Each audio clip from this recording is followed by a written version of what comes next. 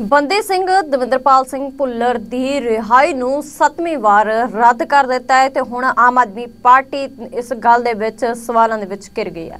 ਉੱਥੇ ਹੀ ਸਿੱਖ ਜਥੇਬੰਦੀਆਂ ਦੇ ਵੱਲੋਂ ਵੀ ਪੂਰਾ ਗੁੱਸਾ ਦਿਖਾਇਆ ਜਾ ਰਿਹਾ ਹੈ ਤੇ ਜਿਸ ਤੋਂ ਬਾਅਦ ਸੁਖਵੀਰ ਸਿੰਘ ਬਾਦਲ ਨੇ ਟਵੀਟ ਕਰਕੇ ਆਮ ਆਦਮੀ ਪਾਰਟੀ ਤੇ ਤਿੱਖੇ ਨਿਸ਼ਾਨੇ ਸਾਧੇ ਨੇ ਤੇ ਸੁਖਵੀਰ ਸਿੰਘ ਬਾਦਲ ਦੇ ਵੱਲੋਂ ਲਿਖਿਆ ਗਿਆ ਹੈ ਕਿ ਦਿੱਲੀ ਦੇ ਮੁੱਖ ਮੰਤਰੀ ਅਰਵਿੰਦ ਕੇਜਰੀਵਾਲ ਅਤੇ ਉਹਨਾਂ ਦੀ ਕਠਪੁਤਲੀ ਭਗਵੰਤ ਮਾਨ ਵੱਲੋਂ ਪ੍ਰੋਫੈਸਰ ਦਵਿੰਦਰਪਾਲ ਸਿੰਘ ਭੁੱਲਰ ਦੀ ਰਿਹਾਈ ਦੀ ਅਪੀਲ ਨੂੰ ਸੱਤਵੀਂ ਵਾਰ ਰੱਦ ਕਰਨਾ ਮਨੁੱਖਤਾ ਵਿਰੁੱਧ ਕੀਤਾ ਗਿਆ ਹੈ। ਇੱਕ ਘਿਨੌਣਾ ਅਪਰਾਧ ਹੈ। ਇਹਨਾਂ ਦੋਵਾਂ ਨੇ ਮਿਲ ਕੇ ਸਿੱਖ ਸੰਗਤਾਂ ਦੇ ਜ਼ਖਮਾਂ ਤੇ ਲੂਣ ਛਿੜਕਿਆ ਹੈ।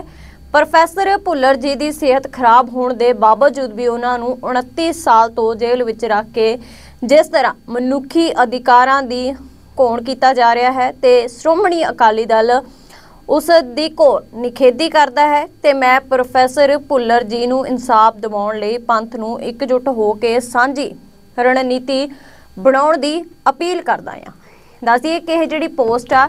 ਇਹ ਸੁਖਵੀਰ ਸਿੰਘ ਬਾਦਲ ਦੇ ਵੱਲੋਂ ਸਾਂਝੀ ਕੀਤੀ ਗਈ ਹੈ ਤੇ ਪ੍ਰੋਫੈਸਰ ਦਵਿੰਦਰਪਾਲ ਸਿੰਘ ਭੁੱਲਰ ਦੀ ਰਿਹਾਈ ਨੂੰ ਰੱਦ ਕਰਨ ਤੇ ਲਗਾਤਾਰ ਸਿੱਖ ਜਥੇਬੰਦੀਆਂ ਦੇ ਵੱਲੋਂ ਸਵਾਲ ਕੀਤੇ ਜਾ ਰਹੇ ਨੇ ਤੇ ਉਹਨਾਂ ਨੇ ਕਿਹਾ ਕਿ ਕੇਜਰੀਵਾਲ ਦੇ ਵੱਲੋਂ ਹੁਣ ਮੁੜ ਤੋਂ ਜਿਹੜੀ ਫਾਈਲ ਨੂੰ ਰੱਦ ਕਰ ਦਿੱਤਾ ਹੈ ਤੇ ਲਗਾਤਾਰ ਸਵਾਲਾਂ ਦੇ ਵਿੱਚ ਹੁਣ ਆਮ ਆਦਮੀ ਪਾਰਟੀ ਬੰਦੀ ਸਿੰਘਾਂ ਦੇ ਮੁੱਦੇ ਤੇ ਘਿਰ ਗਈ ਹੈ। ਬੰਦੀ ਸਿੰਘ ਦਵਿੰਦਰਪਾਲ ਸਿੰਘ ਭੁੱਲਰ ਦੀ ਰਿਹਾਈ ਨੂੰ ਸੱਤਵੀਂ ਵਾਰ ਰੱਦ ਕਰ ਦਿੱਤਾ ਹੈ ਤੇ ਹੁਣ ਆਮ ਆਦਮੀ ਪਾਰਟੀ ਇਸ ਗੱਲ ਦੇ ਵਿੱਚ ਸਵਾਲਾਂ ਦੇ ਵਿੱਚ ਘਿਰ ਗਈ ਹੈ।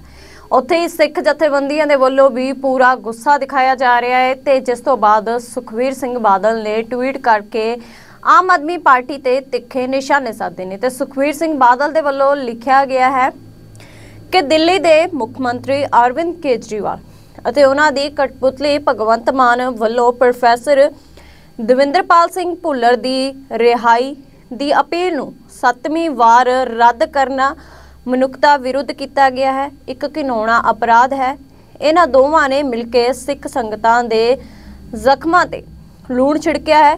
ਪ੍ਰੋਫੈਸਰ ਭੁੱਲਰ ਜੀ ਦੀ ਸਿਹਤ ਖਰਾਬ ਹੋਣ ਦੇ ਬਾਵਜੂਦ ਵੀ ਉਹਨਾਂ ਨੂੰ 29 ਸਾਲ ਤੋਂ ਜੇਲ੍ਹ ਵਿੱਚ ਰੱਖ ਕੇ ਜਿਸ ਤਰ੍ਹਾਂ ਮਨੁੱਖੀ ਅਧਿਕਾਰਾਂ ਦੀ ਘੋਣ ਕੀਤਾ ਜਾ ਰਿਹਾ ਹੈ ਤੇ ਸ਼੍ਰੋਮਣੀ ਅਕਾਲੀ ਦਲ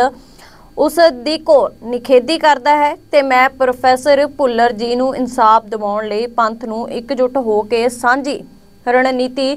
ਬਣਾਉਣ ਦੀ ਅਪੀਲ ਕਰਦਾ ਹਾਂ। ਦੱਸਦੀਏ ਕਿ ਇਹ ਜਿਹੜੀ ਪੋਸਟ ਆ ਇਹ ਸੁਖਵੀਰ ਸਿੰਘ ਬਾਦਲ ਦੇ ਵੱਲੋਂ ਸਾਂਝੀ ਕੀਤੀ ਗਈ ਹੈ ਤੇ ਪ੍ਰੋਫੈਸਰ ਦਵਿੰਦਰਪਾਲ ਸਿੰਘ ਭੁੱਲਰ ਦੀ ਰਿਹਾਈ ਨੂੰ ਰੱਦ ਕਰਨ ਤੇ ਲਗਾਤਾਰ ਸਿੱਖ ਜਥੇਬੰਦੀਆਂ ਦੇ ਵੱਲੋਂ ਸਵਾਲ ਕੀਤੇ ਜਾ ਰਹੇ ਨੇ ਤੇ ਉਹਨਾਂ ਨੇ ਕਿਹਾ ਕਿ ਕੇਜਰੀਵਾਲ ਦੇ ਵੱਲੋਂ ਹੁਣ ਮੁੜ ਤੋਂ ਜਿਹੜੀ ਫਾਈਲ ਨੂੰ ਰੱਦ ਕਰ ਦਿੱਤਾ ਹੈ ਤੇ ਲਗਾਤਾਰ ਸਵਾਲਾਂ ਦੇ ਵਿੱਚ ਹੁਣ ਆਮ ਆਦਮੀ ਪਾਰਟੀ ਬੰਦੀ ਸਿੰਘਾਂ ਦੇ ਮੁੱਦੇ ਤੇ ਘਿਰ ਗਈ ਹੈ।